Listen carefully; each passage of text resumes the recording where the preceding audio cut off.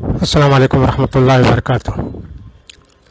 معلوم ہوتا ہے کہ ڈاکٹر ایوب صاحب رحمۃ اللہ علیہ کو اپنے آخری وقت کا احساس ہو گیا تھا۔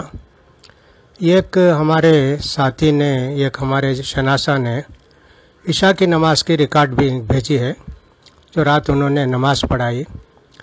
پہلی رکعت میں انہوں نے عز شمس قبرت پڑھایا اور آدھے رک اس میں سورہ میں رکو کر لیا۔ دوسری رکعت میں علم نشرح پڑھا۔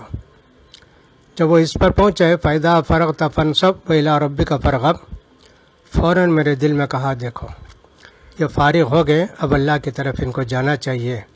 بس یہ گویا آخری صورت تھی جو انہوں نے عشاء کی نماز میں رات تلاوت کی۔ ادھر شمس قبرت و ادھر نجوم ان قدرت واقعی آسمان بھی، تارے بھی مان پڑ گئے۔ اور اتنے بڑے قاری دنیا سے رخصت ہو گئے۔ اللہ تعالیٰ کثیر رحمت فرمائے۔ اللہ تعالیٰ ان کی خدمات کو قبول فرمائے۔ اللہ کے بعض نیک بندوں کو احساس ہو جاتا ہے وفات سے پہلے کہ ہم شاید اب نہیں رہیں گے۔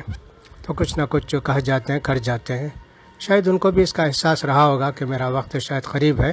تو اس لیے انہوں نے علم نشرح پڑھا۔ واللہ عالم الصواب